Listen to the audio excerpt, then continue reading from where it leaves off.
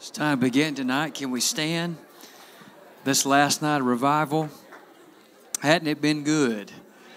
Amen. Did you come expecting tonight?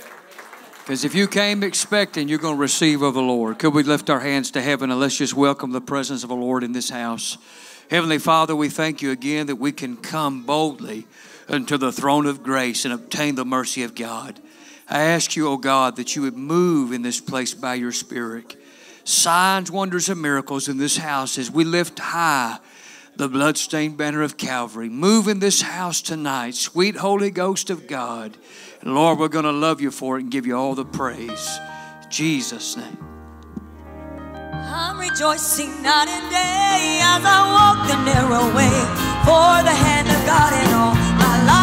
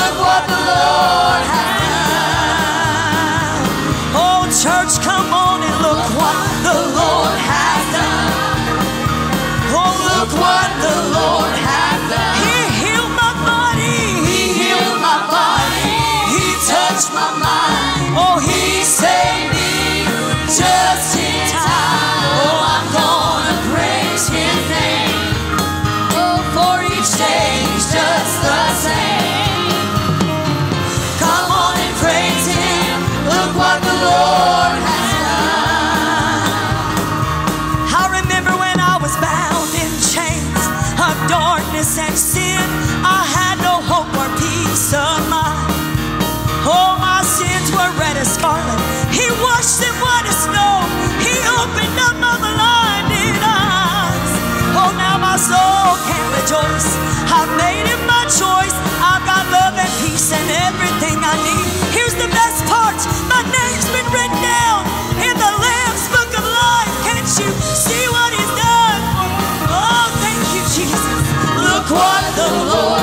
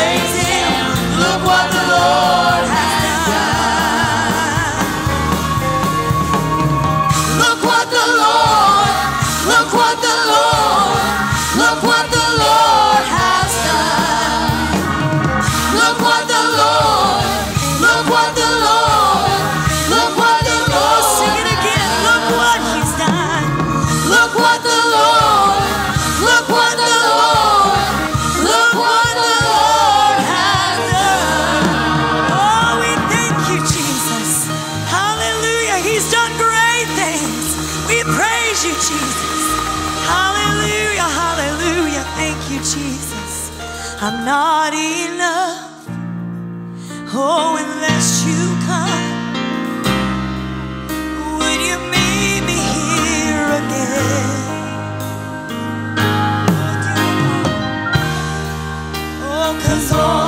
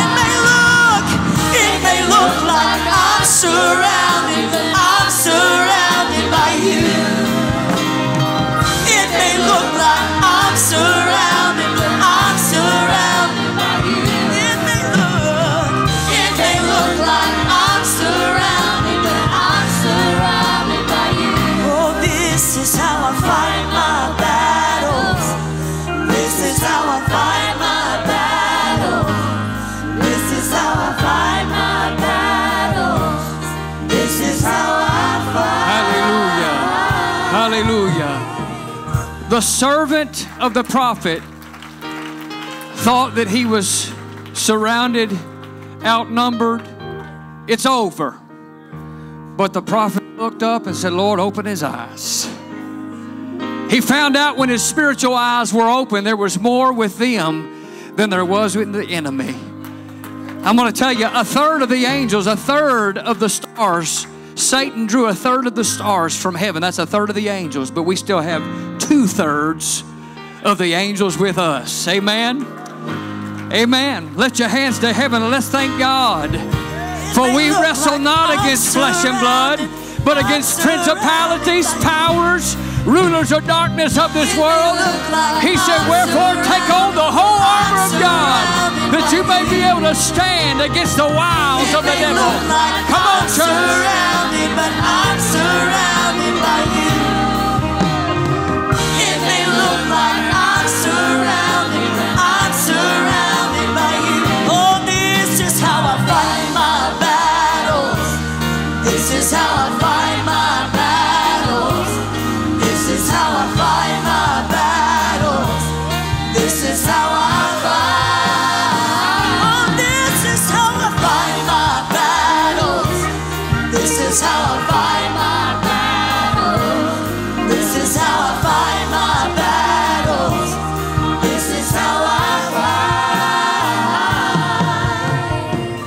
The name of the Lord. Amen. We fight them on our knees in this spiritual warfare. You may be seated in the presence of the Lord. If our ushers could come tonight to receive the evening tithe and offering. Thank you so much for your faithfulness during revival. We have had a time. Thank you for your giving. Thank you for your prayers. God's moved greatly, and we believe that tonight is no different. We're going to see a a move of the Spirit of God. We're going to hear the engrafted Word of God, which is able to save our souls. Amen. So, Truth Retreat, ages 13 to 18, this coming Friday and Saturday. What time are we leaving? Does anybody have ETA, estimated arrival time to Livingston? We're leaving at 2 p.m. on Friday, so everyone that's going to Truth Retreat, you know who you are. We're leaving at 2 p.m. So be there or be left behind. Amen. Brother Craig, get you blessed off.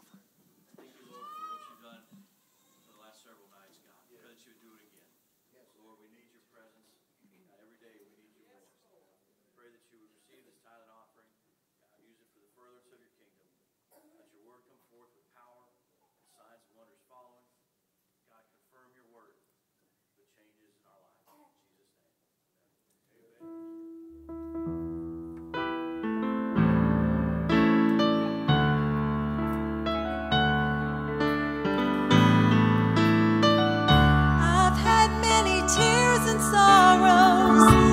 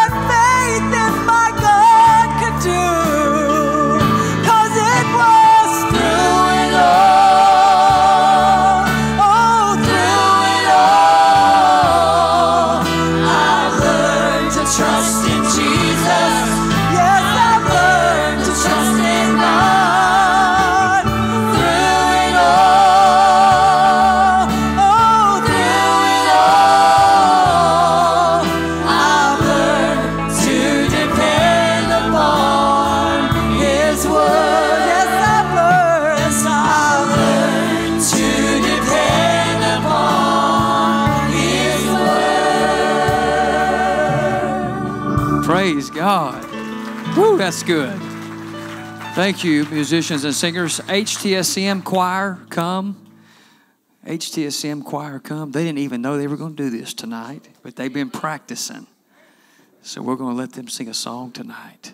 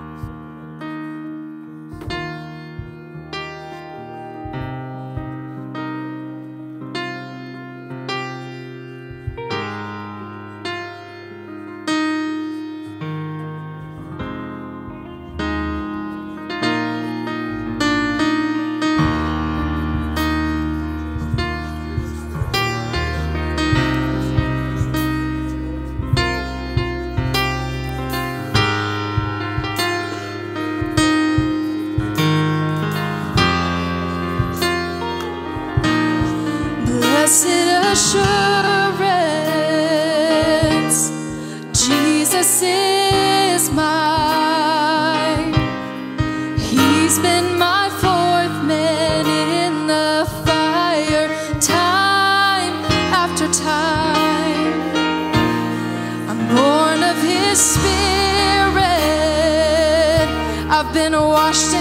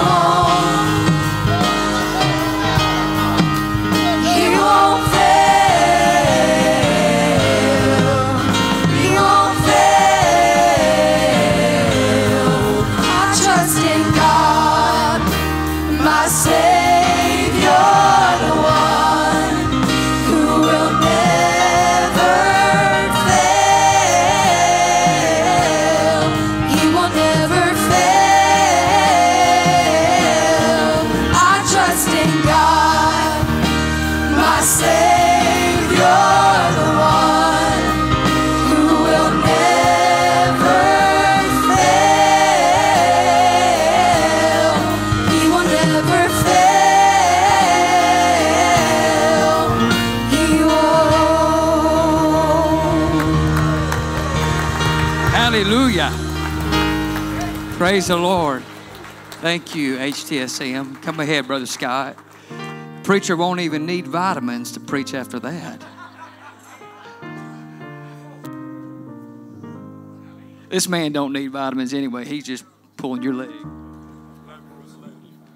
Well, praise the Lord. Are you glad you serve a God that will never fail?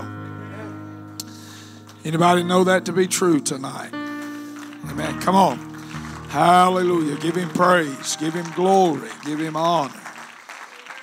Did you enjoy that choir? Amen. Give the Lord praise for that choir. Amen. Hallelujah.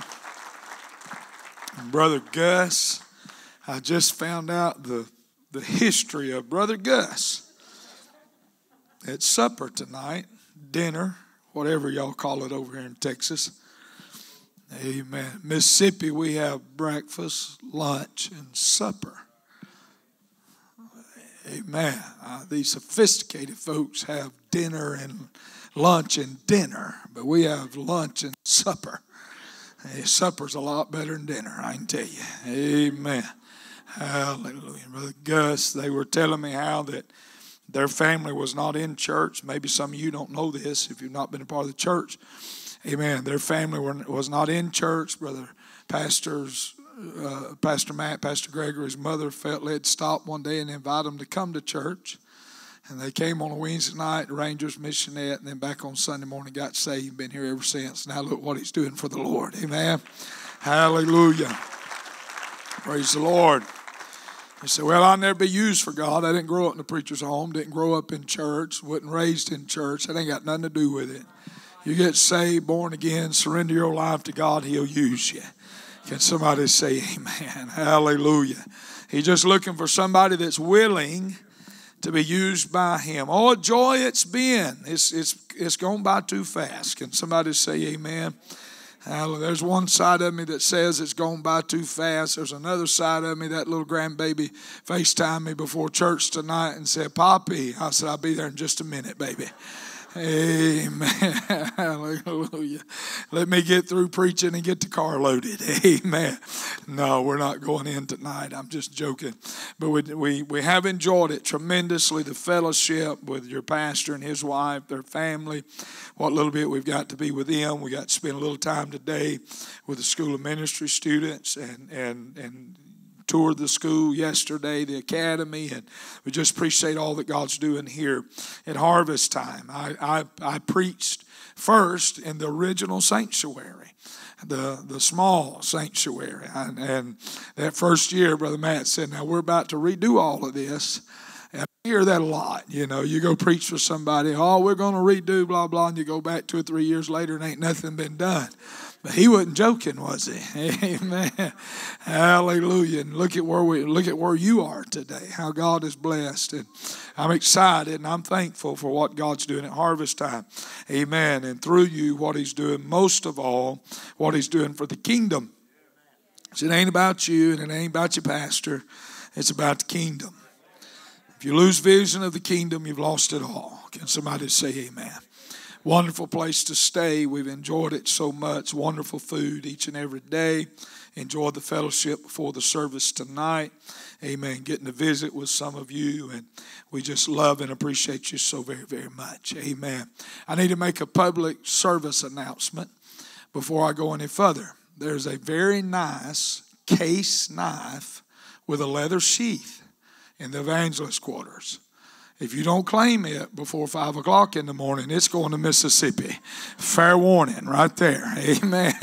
Very nice case knife with a leather sheath. If it don't, quit pointing him out now. I'm trying to get this thing to Mississippi. Amen. Hallelujah. You better be glad I'm saved. That's all I got to say. I'd put that in my bag and said a word. Amen.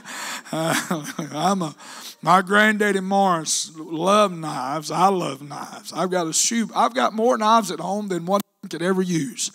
I buy knives and just throw them in a shoebox, and I, I just I just got a shoebox full of knives. Tote the same old knife. Tote, toted one till I wore the blade out and then went and bought another one just like it. I don't know why I keep buying all these other ones. Amen.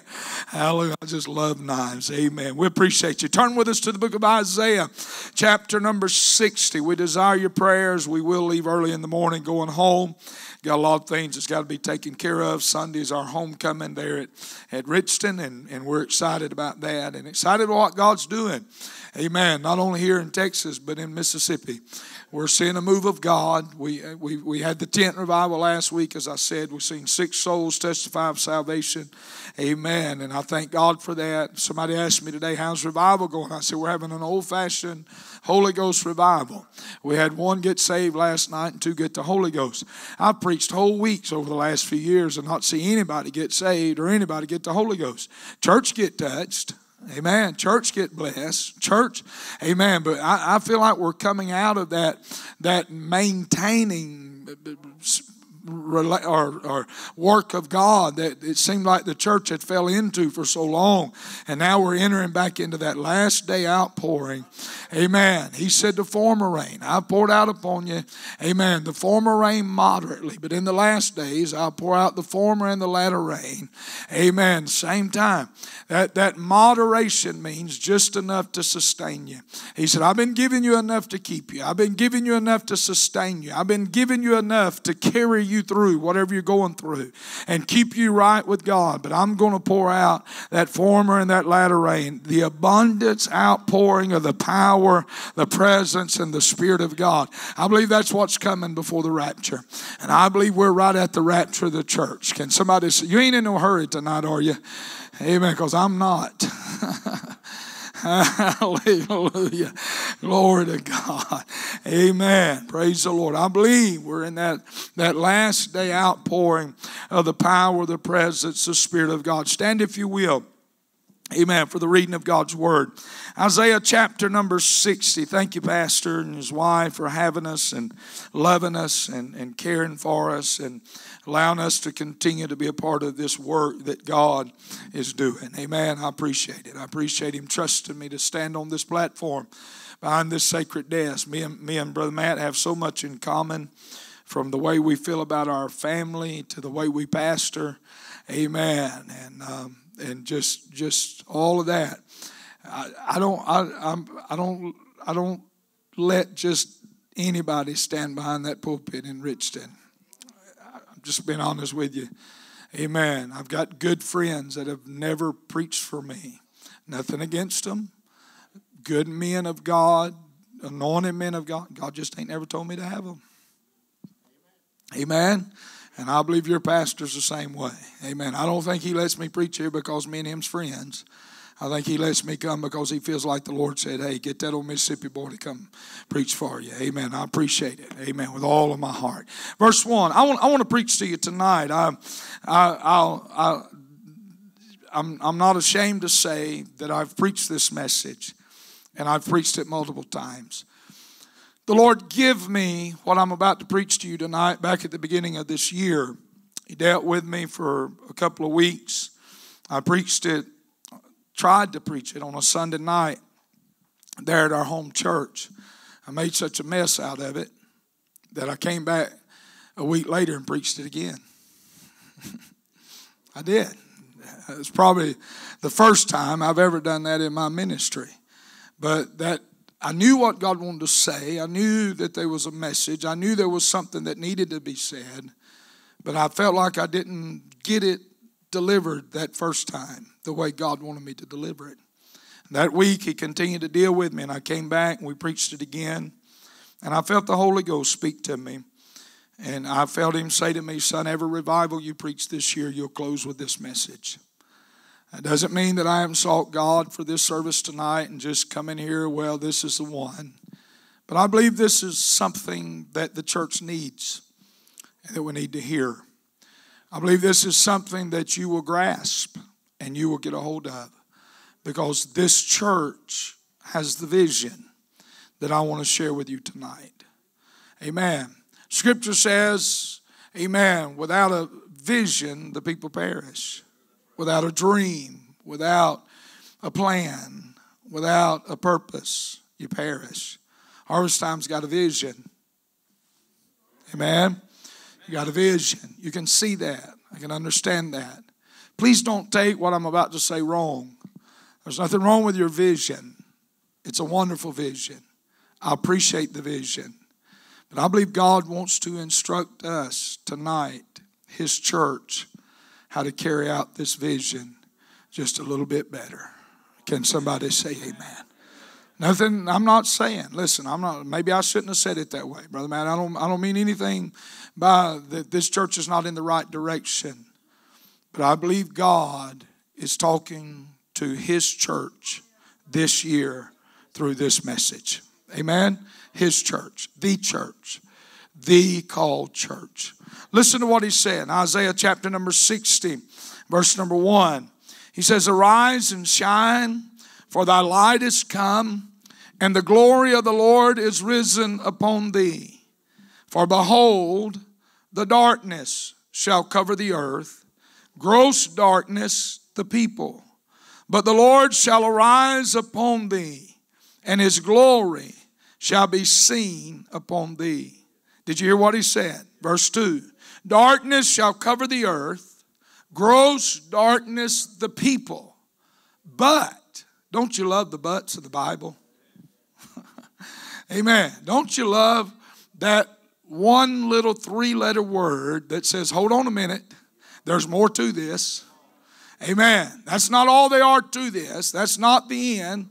That's not the final. That's not, amen, the end of the story. But, he says, but, amen, but the Lord shall arise upon thee, and his glory shall be seen upon thee. And the Gentiles shall come to thy light. come on, somebody. Amen. And the Gentile. Oh, hallelujah. You want just you want me just read the text and you get it and we just shout a while. It's all right with me. Don't matter to me. Amen. Hallelujah. Listen to me. He said, And the Gentiles shall come to thy light, the kings to the brightness of thy rising. Listen to verse number four. Lift up thine eyes round about thee and see and gather themselves and, and, and see all they gathered themselves together. They come, listen, they come to thee. They come to thee. Who comes to thee? They come to thee, thy sons from far, and thy daughters to be nursed at thy side. That sounds like revival, don't it? Amen. Hallelujah. They come to thee. Thy sons, amen, shall come from far. Thy daughters shall be nursed at thy side. Slip your hands up this way and ask God if he's ever anointed a preacher that he anoint me tonight. Heavenly Father, we love you. Thank you, God, for your many blessings. Thank you, Lord, for all that you are and do for us. Thank you, God, for the many ways that you touch us, for the many ways you bless us, for the way you've anointed us, God, every night in this service, in this revival. I'm praying, God, for that anointing to come again tonight. Use us now, God, in a mighty way. Touch hearts, touch lives. Speak to us, God. Speak to us by your power. Speak to us by your presence. Speak to us by your anointing. Let the Holy Ghost of heaven rest heavily upon us. Father, we love you. We thank you. We praise you. We glorify you. We magnify you in this house. Come on, church. Give him praise. Give him glory. Come on. Hallelujah. Give him praise and give him glory in the house of the Lord tonight. Amen. Hallelujah. You may be seated in the sweet presence of the Lord. In my office at home, there are two books on, or used to be two books on the shelves in my office. My office flooded few weeks ago, and it's a mess. Amen. Most of my books are in boxes right now, but we're working on getting that fixed. Amen. But in my office, there were two books on the shelves. They're in boxes now. Amen. At the time, both of these books was best-selling books. Amen. One of these, or one of those books, uh, was written in 1986. The other one was written in 1988. Both of these books are fictional Christian novels that were written, amen, by a well-known author of that time by the name of Frank E. Peretti. Anybody remember that name, that Christian author? Anybody read any of his stuff? Am I the only one? Amen. Has it been that long ago? I know 80, 86. How many was it born in 86? Raise your hand. Amen. How many of you didn't even exist in 86? Amen. You were still in the record books of heaven. Amen. Hallelujah. It wasn't him on this earth. Frank Peretti, amen, a well known author of that time, a Christian author. He wrote the first book in 1986 that was called This Present Darkness. Amen. The sequel to that book that was written in 1988 was called Piercing uh, the Darkness.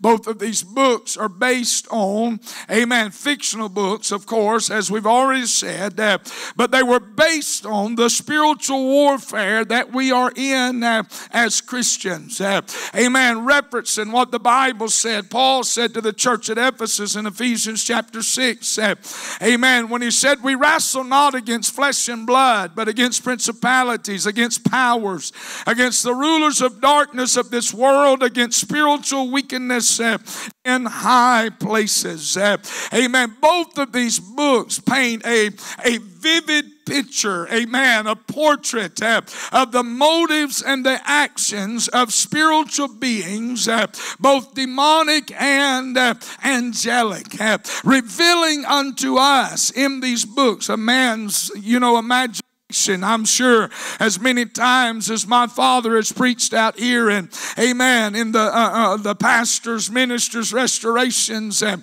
the youth conferences I'm sure you've heard him say I've heard him say it for years. God didn't give me an imagination for me not to be able to use it while I'm a preaching. Amen. Hallelujah.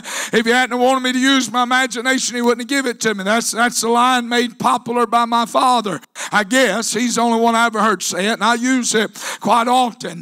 But Frank Peretti and his imagination, have he wrote of this and revealing the power of prayer in uh, this warfare. Amen. One of them was based around a small town that was in attack, amen, by the demonic powers of hell. Uh, and as long as the church and the Christian and the child of God was praying, uh, amen, angels were standing with flaming swords, amen, warding off the attack of the enemy on that, amen, town and on that church and on the people of that church. You know what this world needs tonight more than it needs anything else in the world? It needs some mamas and grandmamas and daddies and grandpas uh, that know how to pray again. Uh, can somebody say amen? Hallelujah. Can I take my time tonight? Amen. Just take my time. Amen. The, the doors are not locked. Amen. If you get through before I do, God bless you. Be back Sunday morning, Brother Matt. Have a good message for you. Amen. Hallelujah. Come on. Amen. Listen to me tonight. Amen. We need this is what's lacking. This is the reason uh, that the enemy is just having his way, havoc uh, in our homes, in our churches, in our schools, in our children, uh, and in our families. Uh, people no longer pray the way they used to pray. Can somebody say amen? I said, people no longer pray uh, the way they once prayed. Eh. some of my most vivid memories of both, eh, amen, of my granddaddies, my granddaddy Morris, who was a pastor, amen, my granddaddy Ronnie, my mother's father, who was also a minister and a pastor, amen, of the, uh, a minister of this gospel. some of my most vivid memories of them is their prayer life. amen. My granddaddy Morris pastored in Douglas, Georgia. Amen. When we were children and we would go out and spend two weeks with them in the summer, us boys. Uh, and their, their, their bedroom was on one end, one end of the house, uh, and there were two guest bedrooms on the other end of the house. Uh, and one of those guest bedrooms was my granddaddy's prayer room. and we slept in the other. never was there a day that we were there that the sun came up that my granddaddy was not in that bedroom praying. Can somebody say amen? He used to say, any preacher let the sun beat him out of the bed ain't worth the salt in his body.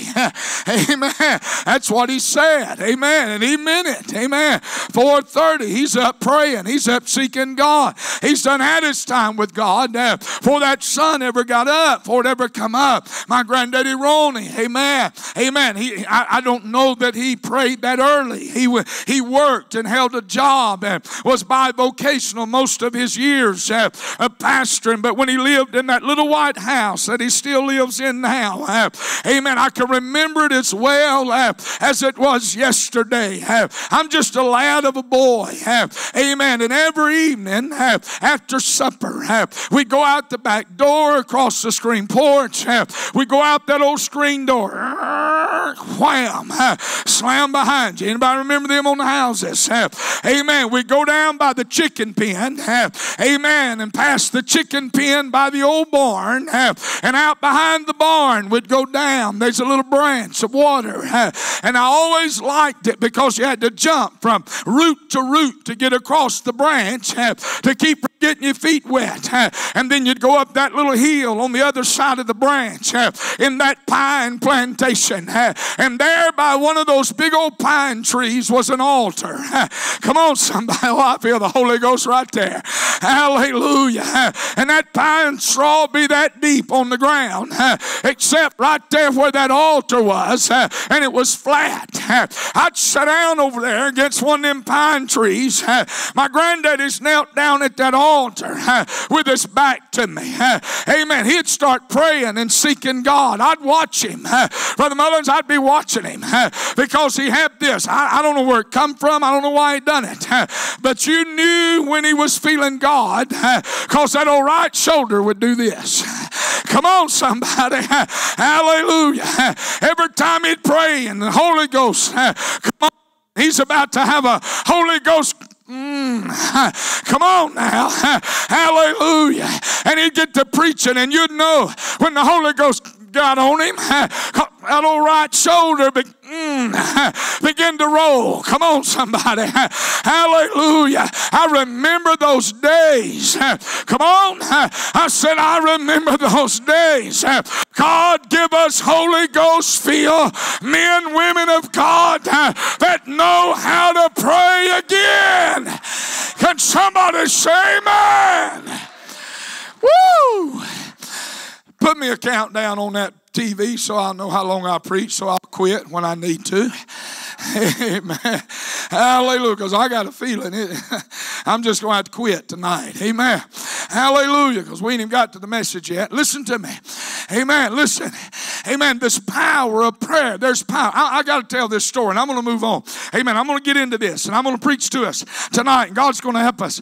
Amen. This power of prayer. Amen. That my, my granddaddy Ronnie, I remember it like it was yesterday. My grandmother had to have some places took off of her hand. Amen. And they said it's more than likely going to be cancer. Amen. The aggressive skin cancer. Amen. And they took those pieces off of her and they said, We'll call you. This has been years ago. We'll call you in a few days. We'll let you know. Amen. What you know, we'll do the biopsy, do the test, uh, and we'll see if it's cancer or not. Uh, amen. The next day or the day after, I don't remember, one or two days later, the phone rung at the house. My mama answered the phone. It's my granddaddy on the other end. Uh, she said, Yes, sir. Yes, sir. Yes, sir. Really? The, the doctor called today? No, honey. The doctor did didn't call. Come on, somebody. He called mama, and on the other end of the phone, he's telling mama, You can quit worrying about it. You can quit worrying about it. Your mama ain't got cancer. Come on, somebody. Hallelujah. Amen. She said the doctor called. They done got the pathologist test back, and they found out that it's not. No, he said, Ain't no doctor called. I just come back from my prayer meeting, and the Holy Ghost said, Ain't no cancer in your mama's body everything's going to be all right. And there ain't nothing to worry about. You know what? When the doctor's office called about four or five days later, you know what they said? Ain't no cancer in that. We don't know how we missed it. I know how they missed it. As a praying man in a, come on, in a pine orchard, praying down the power of the Holy Ghost. You want to take control of your family. You want to take control of your home. You want to take control of your children. You find you a prayer closet, honey, and get back a hold of God. God moves for those that are seek His face. Oh, glory. Woo. I might as well preach this my last night. Hallelujah. Amen. I just don't understand why God don't ever answer my prayers. Did you see where so and so went to the bathroom today on Facebook? Hallelujah. I just don't understand why I can't seem to get victory. Did you see where, oh, brother, so and so, amen. Hallelujah. You put that thing down, clear you out of closet. oh, come on, son. Man, this ain't even my message, but it's so good I can't go on without preaching here just a minute. Amen. Come on. We're, we're in one of the worst battles of my family's life. Some months ago, maybe even a year ago now. I don't know. Amen. It, it, it just uh, the enemy was attacking my mind, my family, my home. Amen. Finally, one night, I just said, I've had enough. I told my wife, I said, I've had enough of this mess. Amen. I'm not putting up with it no more. Amen. You go on to bed. She said, when you, I said, I don't know that I'm coming to bed tonight. Can somebody say amen? And I took that old pillow and I went up there and I got in the living room floor and I laid down right in the middle of the living room. And I said, God, I ain't getting up from here until that devil's defeated. Can somebody say amen? I ain't getting up from this living room floor until that devil's defeated. Come on. It didn't happen in five minutes. It didn't happen in 10 minutes. It was way over in the morning before I ever went to bed. But I want to tell you something, honey. When I went to bed that morning, the devil knew who was in charge. The devil knew who was in control. The devil knew it's time to take a back seat. That meant hey, hey, hey, hey, hey. Woo!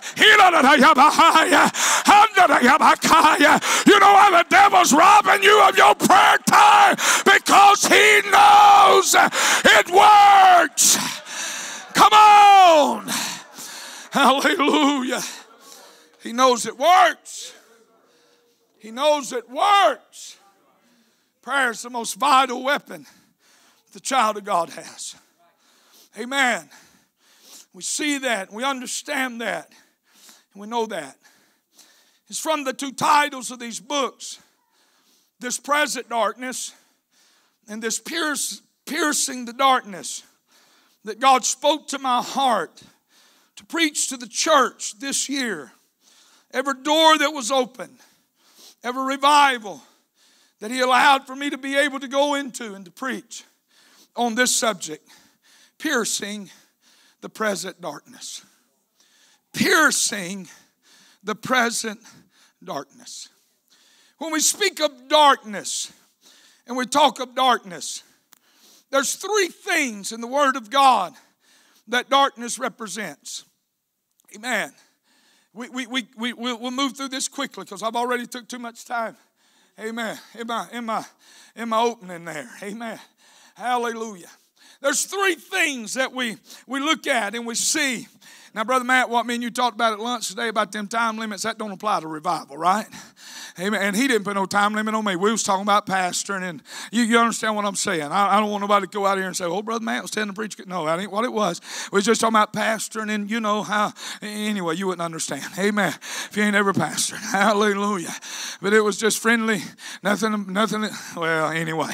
Hallelujah. Just, just forget I ever said that, all right? Just take that off the book. Amen. Hallelujah. No, I just basically said on Wednesday nights when I'm at home, I try to be cordial to my people because they worked all day and they got to get up the next morning. Amen. And I try not to keep them all night unless the Lord gets to moving. where the Lord's moving tonight. So, amen. Hallelujah. Praise the Lord. Hallelujah. There's three things that darkness represents in the Word of God. First and foremost, when you read of the word darkness in the Scripture, we understand in places that we read about it that it's speaking specifically of physical darkness. Amen. The darkness that's in the night out there, the nighttime, the darkness that takes over a building or a room or a place when the lights are cut off and when the, the light is taken away from that area. Amen. Genesis chapter 1, verse 2 said, The earth was without form and void, and darkness was upon the face of the deep, and the Spirit of God moved upon the face of the waters. This is speaking of, of that place of the absence of light where darkness is. You do understand that, right? Amen. There is no such thing as turning on and off darkness. Amen. You can't turn on darkness in here. For darkness to come into this building, you have to turn off the light. Amen. I don't want to get ahead of myself here. Amen. That's way on over on page five. We still on page one. Amen. To, to get now, you young preachers, don't don't pattern yourself after me. You'll get in trouble. Amen. Hallelujah. You have to be old, gray, and bald headed to get away with some of the things I've said this week. Amen. Hallelujah. Listen to me. Amen. You turn that light off, darkness comes in. Second thing we find in the scripture that darkness references, uh, amen, is, is a mental condition uh, that people find themselves in uh, when they come to a state of depression in their lives. Uh, amen. And, and, and the enemy has come and their emotions uh, are filled with fear and despair. They find themselves in a place of mental darkness. They're, they're in depression. They don't want to live. They don't want to get out of the bed. They don't want to go about their daily routine. They don't want to take care of business and do things that needs to be done. And I'll tell you in this house tonight, if you're there mentally in a darkness, in a depression, and the enemy's robbing your life from you through depression and a mental darkness, there's power over that uh, in the name of Jesus Christ uh, of Nazareth. I feel like talking to somebody right here. He said he came that you may have life uh, and that you may have it more abundantly. It ain't God's will that you just get up and breathe and go back to bed. He wants you to enjoy life, enjoy your family, enjoy your home, enjoy your spouse, enjoy your children, enjoy your grandchildren. Get victory before you get out of here tonight. Can somebody say amen? Hallelujah. Man, I got to quit taking these side roads. We ain't never going to get done. Amen. Thirdly, when we find the word darkness in the Word of God, it's representing a spiritual condition. Amen. It's referencing the condition of a, of a, of, of a people, amen, that, that have allowed themselves, amen, to get in a spiritual place that they ought not be in. That darkness is represented, rep, represents spiritually the condition, the spiritual condition of a society who has turned their back on God. Amen? The spiritual condition of a society who has turned their back on God. This is what I want to focus on for just a few minutes tonight, if God would be my help. The spiritual aspect of darkness in the society that we're living in today. Can we bring those verses back up? Is that is that would that be a problem? Amen. Bring up, if you will, Isaiah chapter 60 in verse number 2 for me again. Is this all right? It's a little different, my normal style of preaching. I want you to see what Isaiah says here. He says, For behold, the darkness shall cover the earth, and gross darkness the people. Amen. I feel that God spoke to my heart concerning this verse that as Isaiah is declaring unto us two different distinct things that will take place in the land. Two distinct uh, different things uh, that will take place uh, in the land. First of all, he says, darkness shall cover the earth. Amen. Darkness shall uh, cover the earth. That's the first thing. The second thing that he tells us is gross darkness uh, shall cover uh, the people. Uh, what he is saying to us here, as God spoke to my heart and to my life, uh, is when we allow darkness uh, to cover the earth spiritually, uh, then we can expect nothing less than for people to begin to live in gross darkness. Can somebody say amen? I said we can expect nothing less than for people to begin to live lives uh, of gross darkness. Uh, This is what we are witnessing uh, in our society today. Uh, we live in a world that is covered uh, with darkness, uh, and this world of darkness that we're living in has produced a generation of people of gross darkness. Come on now. I said it has produced a generation of people of gross darkness.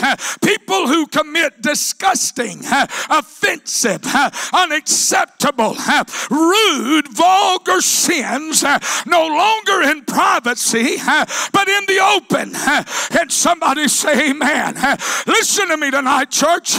When you take God, His Word, His commandments out of a society, when you take it out of our schools, come on, when you take it out of our government, when you take it out of our businesses, when you tell God that He's not welcome uh, any longer, uh, this is what has produced uh, the society that we are dealing with today in this land. Can somebody say amen? Woo! Hallelujah. Hallelujah. When you take the Word of God out, when God is no longer welcome, the presence of God, the power of God, the Spirit of God, it produces what we have in our society today. This is what happened. Amen. In the time of the judges, in Judges chapter 2, the Bible said that Joshua, the servant of the Lord, be 110 years old, amen, died. They buried him in the border of his inheritance. Also, all that generation were gathered under their fathers. There arose another generation after them which knew not the Lord, nor yet the works which he had done for Israel. How quickly a society can go from being a God fearing, come on, from a society that knows God, serves God, trusts God, lives for God, to a society that we live in today that knows not the Lord. And somebody say, Amen. Come on, you're going to help me tonight. I said, You're going to help me tonight. Brother and sister, we are witnessing this in the land that we're living in today. We see a generation of people that knows nothing about God, how good God is, how great God is, how powerful God is. They want nothing to do with Him, and they're living in gross darkness. Can somebody say amen? One generation, one generation without God, one generation of people, amen, dying, passing on, produced another generation, the scripture says, that knew not. This led them to serving other gods, the gods of Baal the god of Ashtaroth. Baal and Ashtaroth in the simplest form means many gods. The Israelites gave up the one true God for many gods. This is where we are in America today. Not you, not I. I'm not preaching to us tonight. I'm just trying to persuade you and show you where we are as a nation and how we got there. Can somebody say amen?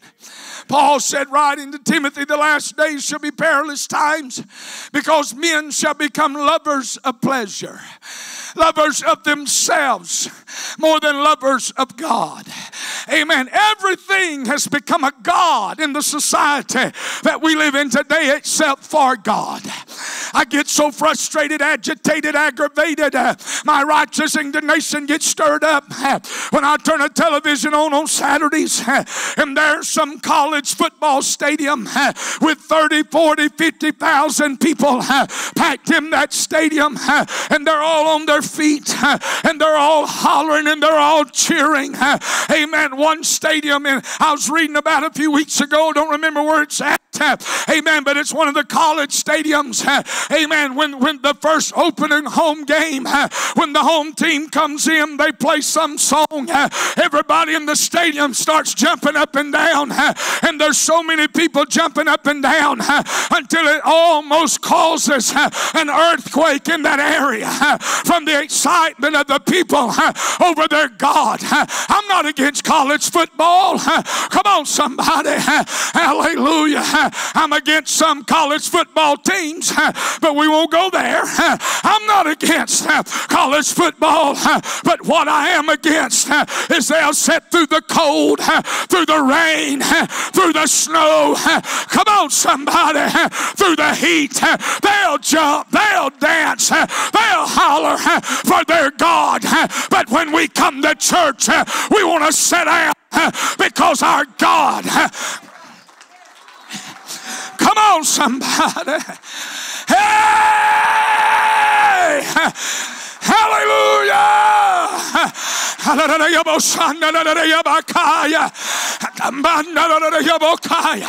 I feel the Holy Ghost right here. Come on, somebody. I feel the Holy Ghost right here. Somebody let God know that He's still your God. Somebody let God know that you still love Him. You'll still worship Him. You'll still magnify Him. You'll still adore His name. Hallelujah. Hallelujah. Hallelujah. Hallelujah. Hallelujah. Amen. Come on. You let it even cloud up on Wednesday night. Oh, I better stay home. It may rain. oh, really? Then don't you go to your grandchild's ball game tomorrow night in the rain.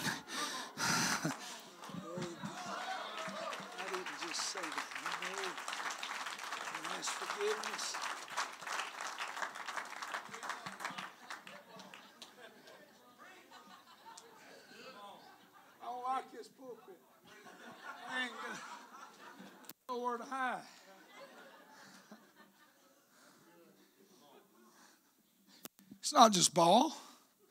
It's boats. It's cars. It's trucks. It's land. It's houses. Anything can become a God. I, I don't know why. I don't know how. I, I, I say not much about it. but man, I'm sorry. I ain't never going to get through. I married that little girl right there back in 1990. We were sweethearts, school, high school sweethearts. Amen. We started liking each other. Couldn't date, of course, was too young. Went all throughout our high school years dating. I asked her daddy, I said, Can can I have can I have Kim? Can I ask her to marry me? You know, that's that's that's that's that's a respectable thing to do, guys. You want your father-in-law to respect you? You take time to go to him before you ask her and say, Could I have your daughter as my wife? You'll start off on the right foot, make things a lot better. That's free. Amen. And that gives him a chance to straighten you up. My son-in-law come to me and I'm sorry, this is I can't, bro, man. I won't never get through. I won't never get through if I keep doing this. I'm honest. I got six pages of note. I'm on page two. My son-in-law came. He's probably watching. He'll kill me. Amen. I, I, and, and, I was going to tell about this, and I'll get back there in just a minute. We're standing on a stump on the 40 acres that God had blessed us with, and that's where I was going to go. And I'll get back to that in just a second. He said, uh, uh, uh, Scott, I'd like to ask Reagan to marry me. And I said, okay, that's fine. You know, and that gave me a chance to tell him what I'd do to him if he ever hurt her. I said, I don't mind preaching in prison.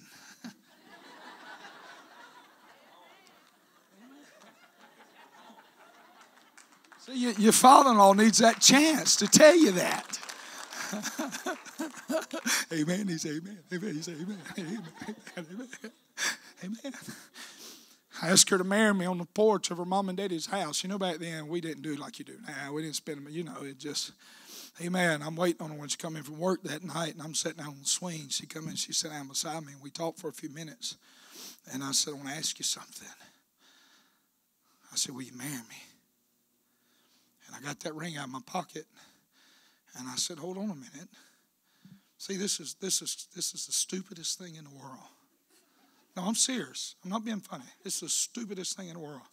I said, before you say yes, you know that God has called me to preach. And when I quit running, I'm going to have to be a preacher.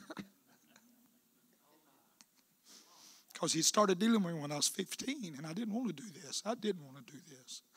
I wanted to do anything but this. I wanted the big house, the farmhouse. I wanted the ranch. I wanted the horses, the cows. I wanted to build houses like my granddaddy had taught me to build houses. I wanted to have a place. But on that Sunday night, amen, in 1991, because we got married in 90, laying under that pew in that church when God said, I want you to preach my gospel, I give all of that up. I give every bit of it up. Every bit of it. I laid it all before God. And I said, You can have the house. It wasn't built yet. Uh, you can have all of my plans. You can have all of that. i will go preach your gospel. But I want to tell you something, young people. It's worth obeying God.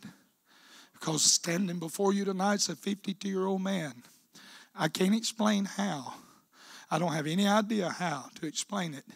But I own 40 acres of land with a ranch house on it, fenced with cows eating grass while we talking.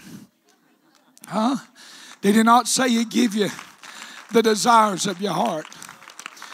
Amen. It don't work out on paper, Brother man. I shouldn't be able to afford what I have, but God bless and He touched and He moved. And every time I pull in that driveway, I don't look at it and say how proud I am. I look at it and I say, Lord, I thank you for my blessing. Can somebody say amen? Lord, I thank you for my blessing. Amen but I'm standing on that property after God give it to us. Or he, he, uh, we're paying for it every month. He's giving it to me one month at a time. Amen. Hallelujah. I said He's giving it to me one month at a time. Amen. Hallelujah. Amen. I'm standing on that property on a Saturday evening when I should be in that office getting ready to preach Sunday morning. Amen. But I've become consumed by my gift that God, I'm preaching on God's in your life. I've become consumed about my gift that God has given me. When God spoke to me standing down there by that little old pond and and he said, Son, I give this to you. I said, Yes, sir, you did. And he said, I can take it away from you just as quick as I give it to you if you let it get in my place. Come on, somebody. I said, Well, I better go get ready to preach in the morning. Come on now. Hallelujah. Amen. How anything can be a God. I said, Anything can be a God. And when they turn from the true God to many gods, come on. Oh, I got to preach, brother. I got to preach. I got to preach. I feel something arising up on the inside of me. And you can go back watch every time I've ever preached it on YouTube or Facebook, and none of them's ever the same. Don't you ever think, Brother Scott, come in here with a transcript and preach the same message. It's the same thought, but it's a different message. But I'm going to tell you something. When Daddy became more consumed uh, with the Little League team uh, than he did the Sunday school team uh, and the church and the youth team and the youth camp, and come on, and ball's more important now than going to church on Sunday. And you wonder why your youngin grew up to be a heathen and won't have nothing to do with God anymore. You got to teach that child God's number one. Come on, somebody. Woo! Hallelujah. Hallelujah. Hallelujah. Amen. There's a world out there that's living in gross darkness. Are you listening to me tonight? I'm not against them, I'm for them. I'm just preaching. I said, I'm just preaching. I'm just preaching. Brother and sister, you go to Tyler, you'll see any and everything that you could ever want to see. Today, today, just today. I ain't been hardly anywhere today. Amen. We got up early. We went to the gym. We worked out for a little while. Then we came back. I came to the church. We went to lunch. We went from lunch to Dick's Sporting Goods, Party Place, and Marshall's. I had to go to Marshall's. Can somebody say amen? Hallelujah. Amen. And the things that I saw in Tyler, Texas today. Come on now, let me look. Amen. Amen. I don't get in trouble here. And I'm not against. I'm going to tell you. I'm going to tell you why. You stay with me. Don't you walk out on me because you'll walk out mad. Amen. With a misconception of what I'm preaching tonight. I seen purple hair. I seen pink hair. Come on, somebody. I seen hair every way you can do hair. I seen rings where there ought not be rings. Come on now. Hallelujah. I seen a young lady in Marshall's this evening. My wife said, Go. They usually got nice shoes. Go look at the shoes. I went over there. I turned around, walked away. My wife said, You find some shoes? I said, No. I couldn't shop for no shoes because there's a young lady over there. Amen. And you can see more than you should ever be allowed to see in public. Come on now. Amen. I'm telling you, a t shirt on like you see these men wear. You know what I'm talking about? These t shirts cut out like this on the sides. You know what I'm talking about? That's what she had on and nothing under it. I walked around there, she bent over. I said, uh oh, hallelujah. Not today, devil. Come on, somebody. Hallelujah. Amen. It's gross darkness. It's gross darkness. Listen, when homosexuality has become in eh, instead of a sin, eh, it is gross eh, darkness. When our government tells our children, you can be what you choose to be. If you want to be a boy, be a boy. If you want to be a girl, be a girl. Come on. Oh, you done quit on me right there. You sit down on me right there. And here's the stupidest thing I've ever heard. Somebody in our government said, if children want to be a skittle, then let them be a skittle. You ain't no skittle, honey. Come on. You are fearfully and wonderfully made by God Almighty. And He made no mistake. Hey!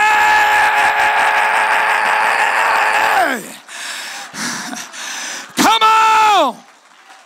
Hallelujah! Hallelujah! Hallelujah! Isaiah said they'll call good, amen, evil good, good evil, darkness light, light darkness, bitter for the sweet, and sweet for the bitter. Have you ever seen a time like we're living in today? I'm not against them, I'm for them. Can somebody say amen? I said, I'm not against them, I'm for them. This is what I come to tell you tonight. It ain't their fault. Can somebody say amen?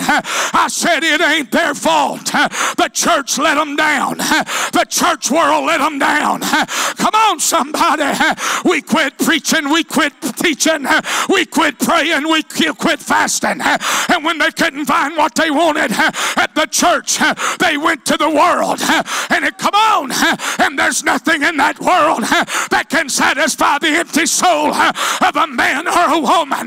What that world needs in gross darkness is a fresh outpouring of the power of the Holy Ghost.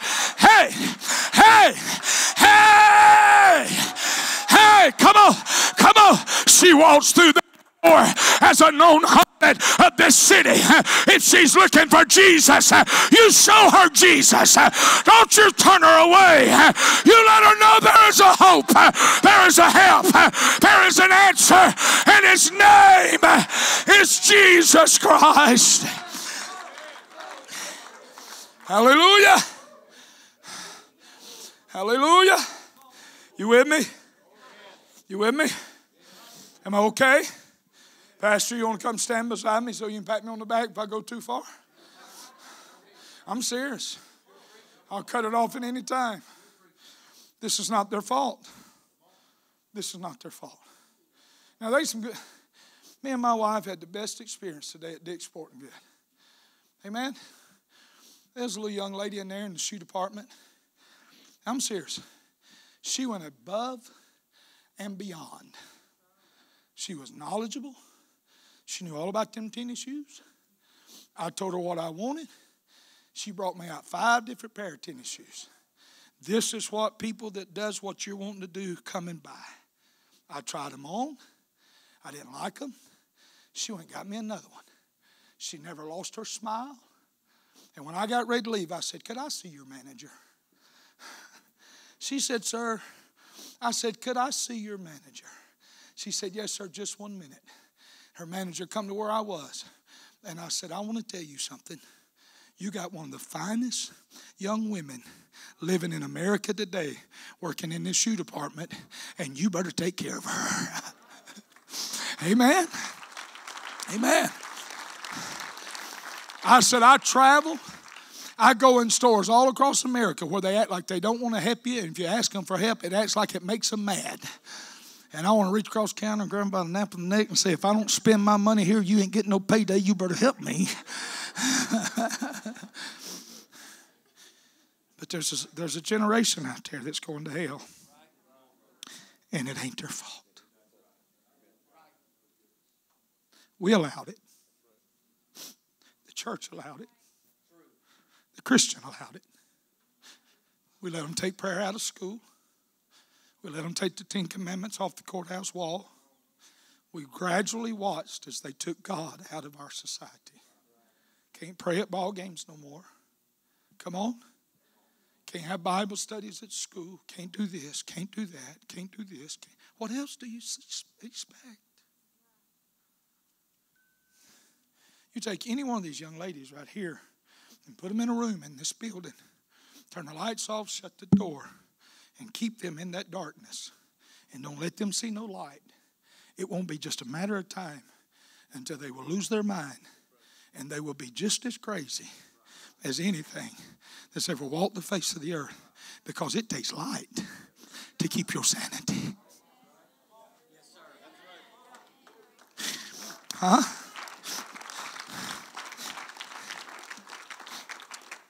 Come on now. Why do we expect any less out there spiritually? We cut the lights off, not us, but we allowed them to cut the lights off spiritually in our world. And look at what we have. It's not their fault. Can somebody say, Amen? What are you saying, preacher? I'm saying the next time you go out to eat and that person walks up to you to wait on you, Amen, and he's got a little more sugar in his tank than he ought to have. Come on. I don't know other no other way to put it. Amen. I mean, that's just the way we'd say it in Mississippi. Amen. Hallelujah. He ain't as manly as he ought to be. Come on. Instead of when he walks off, you looking across the table at your spouse and saying, Well, I guess that's just another one. Amen. You look across your table, that table at your spouse, and say, That is the product of the gross darkness that's in our land. And he's going to go to hell if we don't turn the lights back on. Can somebody say amen? Oh no, no, no, yeah, Messiah. He's going to go to hell if we don't show him the way, if we don't turn the light on. Come on, are you with me? Are you with me? I said, Are you with me tonight? Hallelujah. Are you with me tonight? Listen to me. Amen. The generation that's living in gross darkness. Amen. Not their fault. They are a product of the society that we are living in. So, what do we do about it, preacher? We must arise, as Isaiah said, and we must shine, for the light has come, and the glory of the Lord is risen upon us. Come on, somebody. You got to open your arms. You got to open your heart. You got to open your doors. You got to open your church. You got to let them know there is a God that loves you. There is a God that cares about you. On. Hallelujah. Hallelujah. Hey, I'm making a mess out of this. Amen. I done hit so many side trails that I'm making a mess out of it. But you hear me tonight. Amen. They don't understand love. They don't understand what love is. They don't understand how to love or how to be loved. They come out of broken homes, broken families. Mama done her own thing. Daddy done his own thing. And they were left to do the best that they can. They know the Bible says, For God so loved the world that he gave his only begotten Son, that whosoever believeth in him should not perish, but have everlasting life. But they don't understand love. Come on, somebody. I said they don't understand love. How will they ever understand love? The church has to rise up and show them the love of Jesus Christ in our hearts and in our lives. Can somebody say amen? Hallelujah. How do we pierce the darkness? How do we pierce the gross darkness? How do we make a difference? Listen to me. John's gospel. Amen. Listen to what John says. In John's gospel, he said this, that first chapter in the 14th verse. He said, The word was made flesh. Can we pull that up? Amen. John chapter 1, verse 14. Amen. Give me, give me, give me, I don't know. Just let me get through.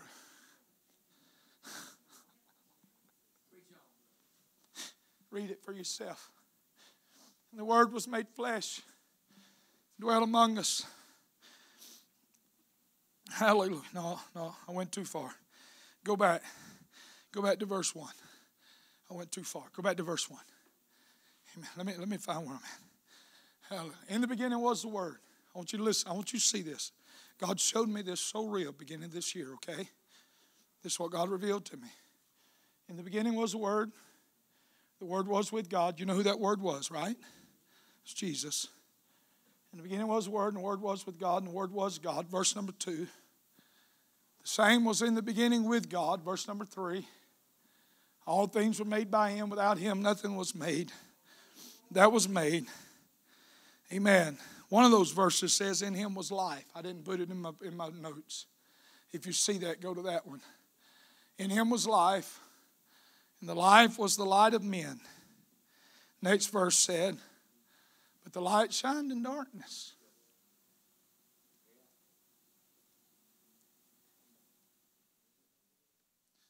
The darkness couldn't comprehend it.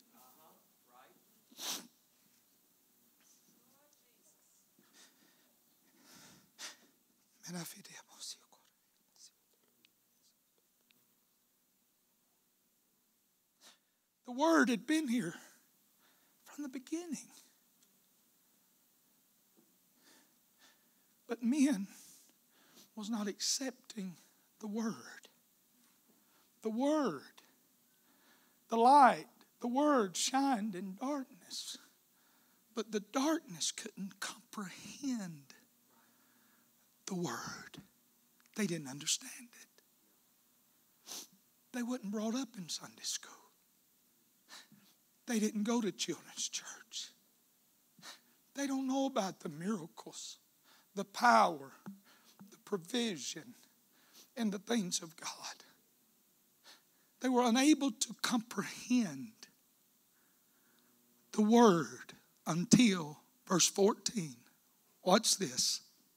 Verse 14. The word was made flesh and dwelt among us and we beheld his glory, the glory of the only begotten of the Father, full of grace, full of truth. The world could not comprehend the word, the truth, the light, until the light became flesh and dwelt among them. And they said, That's what I need. Uh-huh. I'm not against preaching, I am a preacher. I'm not against revivals. We're in revival and I love revivals. I'm not against teaching. I'm not against Sunday school. I'm not against small group classes or whatever you want to call them. But there's a world out there that knows nothing about God and they can't comprehend who God is, what God does, or how God works. And the only way that you're going to pierce the darkness that they're in is that word must become flesh in you and you become the vessel of God, the hands and the feet of God to them. And brother Matt, you go into that darkness and you physically pull them out. Woo! You ain't going to preach them out. You ain't going to teach them out. Come on, sit back down, brother Matt. Hallelujah. You ain't going to persuade them that this is the right way, but you can love them in. You can pull them. You can show them. Come on, somebody. Come on, somebody. Come on. I'm telling you, don't look down your nose at them. Love them. Come on. Come on, Brother Matt. You understand what I'm saying. Don't agree with them. Come on now. Don't have pity on them. Don't let them feel like that you agree with their lifestyle. Let them know I don't agree with what you're doing, but I love you. I love you. I want to help you. I want to pull you in. I want to make a difference in your heart and in your life. Isaiah chapter 16, verse 1. Isaiah chapter 16, verse 1. He said, Arise and shine, for the light is come, and the glory of the Lord is risen upon you. How are we going to pierce this present darkness? You're going to pierce it. You're going to pierce you're going to pierce it. You'll be the light that shines in the darkness that shows them the love of Jesus Christ. Come on, musicians. Amen. I'm not going to pierce it from this pulpit. Maybe. I almost asked tonight before I started preaching, God help me, I made a mess out of this tonight. I, I, I hit too many side trails and I've cut it too short. I almost asked tonight, and this is the craziest question that a preacher could ever ask before I started preaching. How many people in the house tonight is not saved?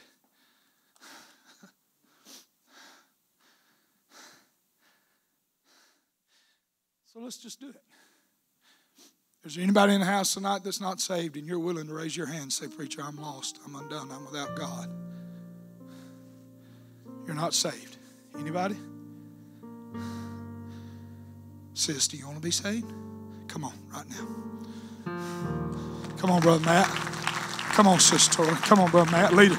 Brother Matt, Pastor, right there. Right there. He's going to help you find the Lord. Anybody else in the house tonight not saved? You want to get saved? Come on, right now. Just slip your hand up and say, Preacher, I'm not saved. Anybody? Boy, this is amazing, ain't it? he said his truth, his word would not return void. See, now that's proof right there that you can preach the word and people will get saved. And if there's people in this house tonight that's not saved, my preaching can reach them. Not who I am, but the Holy Ghost through me, me being a servant, a vessel, can reach them. Anybody else not saved, want to get saved? Come on. You're not up here by yourself. This young lady's getting saved. She's getting born again right now. She came in lost. She's going home saved. Child of God. Come on. Hallelujah. Anybody else? Anybody else? Anybody else? I can't I can't move on yet. Hey, somebody else. There's there's a young man and young lady in this building right here. You came to church tonight because somebody invited you. You didn't want to come. You fought and fought against it. Oh, but you finally give in and said, you know, just to make them happy, we'll go to church. Amen. But now that you got here, you realize that, hey, I need to get saved. I need to get born again. I, that preacher does love me. He don't hate me. He ain't against me. He don't agree with my lifestyle, but he loves me. Come on right now. Come on right now. Come on right now. You want to get saved? Hallelujah. Come on, come on. Hallelujah. Right here. honey. Amen. Come on, come on. Somebody, anybody. Another one of you ladies. Come. Another one of you. I don't want a lot yet. Just one or two. Amen. Anybody else? Anybody else? This is your spot, sir. Ma'am, young man, young woman. You wandered in this building tonight and you're not saved. Come on, get saved right now. Before we go any further, come on, get saved right now. All right, listen to me while these are praying, making things right with God. My preaching in this building tonight is not going to win that young lady or those people that I've seen in town today. And I'm not judging them, but the Bible said you'll know a tree by the fruit that it bears. My preaching in this building tonight is not going to win them. You know what's going to win them? You. And you and you and you and you and you when you start letting the light. Huh? The world could not comprehend what they needed from God until Jesus became flesh and dwelt among them. We got to get out among them again. We got to get out among them again. We got to get out among them again. We got to get out among them again. We got to show them. We got to prove to them. Isaiah said, Arise, let your light shine. Arise, let your light shine. Listen to what he said in verse 2. Amen. He said, But the Lord shall arise upon thee, his glory shall be seen upon thee. The Gentiles shall come. That word Gentiles in the scripture means the sinner, the world, the lost, the undone. When you begin to let your light shine in this world, it will draw all men. It's a promise. I said it's a promise of the Word of God. The Gentiles will come. The Gentiles will come. Oh, but this is a promise to you, mamas, and this is a promise to you, daddies, uh, that's got lost children. Uh, he said, if you let your light shine, uh, He'll bring your sons and your daughters home. He'll bring your sons and your daughters home. Oh, you ain't helping me right here. I said, you ain't helping me right here. God promised if we would be the light, He would bring our sons and daughters home. Get around this front, lift your hands and say, God, make me a light. Make me a light. Make me a light. Come on, all over the building. Make me a light, God. I want to shine. I want to shine. Satisfy the longing inside.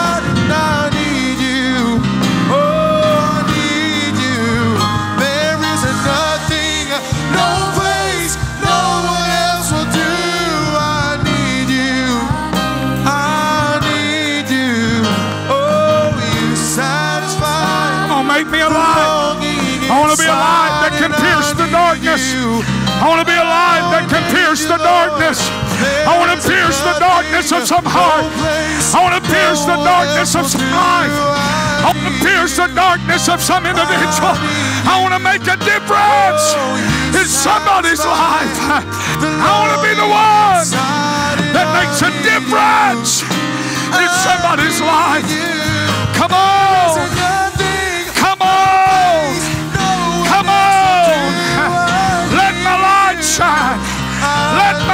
shine. This little light of mine, I'm going to let it shine.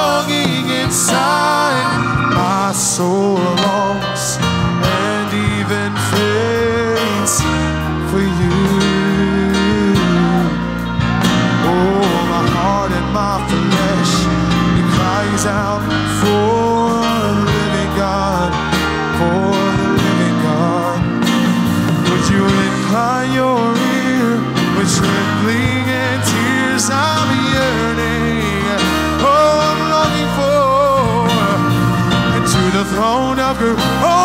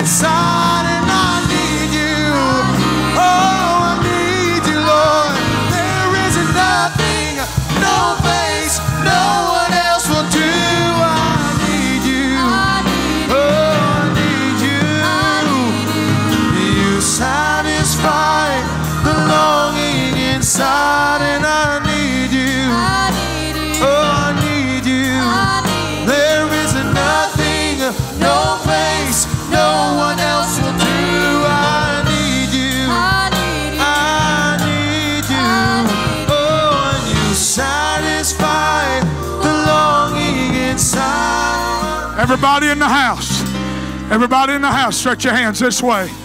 Just stretch your hands this way. Plead the blood of Jesus right now. God's fixing to work a divine deliverance. You're fixing to witness a divine deliverance from God in this house tonight. Come on, stretch your hands this way and start saying, Jesus, Jesus, come on. I plead the blood. I plead. Come on, one mind and one accord. One mind and one accord. I plead, I plead the blood. Take hands with somebody. Join hands with somebody. Make a point of contact. Plead the blood. I plead the blood. Deliverance. Deliverance.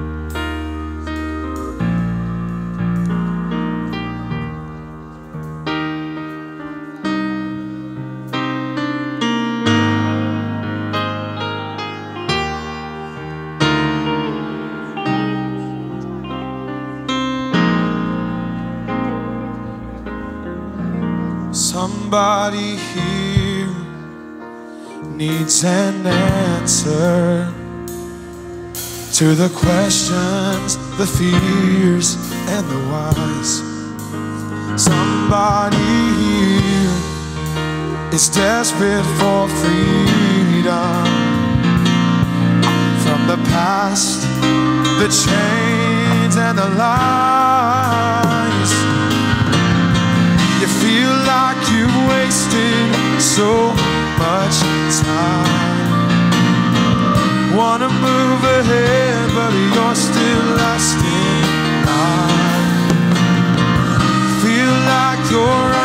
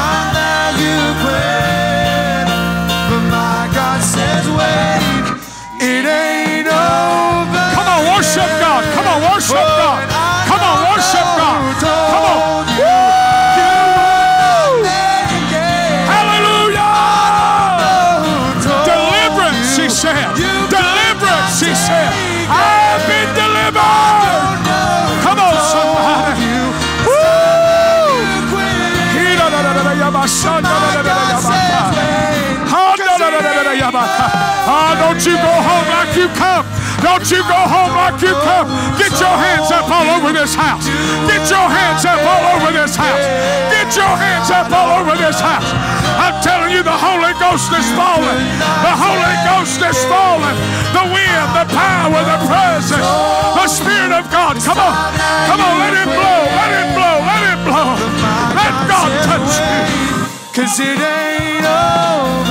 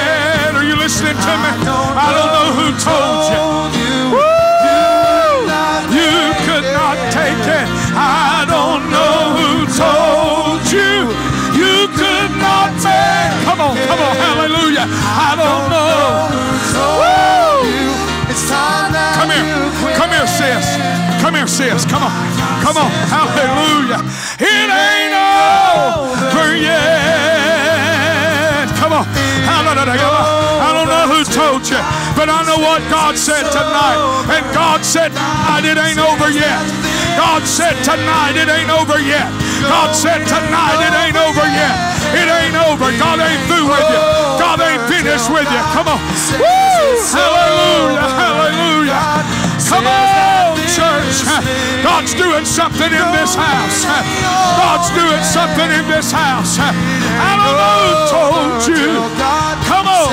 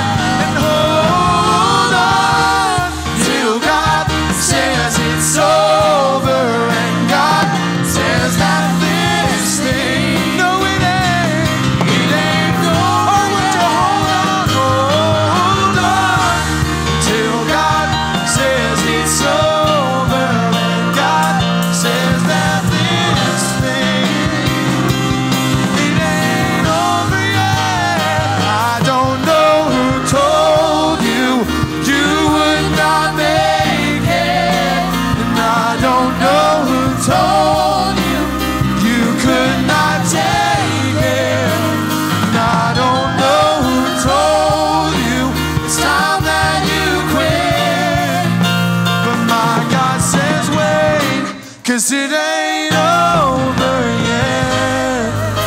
There's somebody here, you need an answer